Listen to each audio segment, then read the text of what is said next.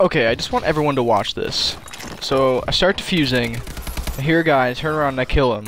I'm like, oh my god, nice, I'm amazing. So, I start trying to fuse and I keep on picking up a gun and then I start defusing and I don't have enough time to do so and it explodes. I'm gonna kill myself.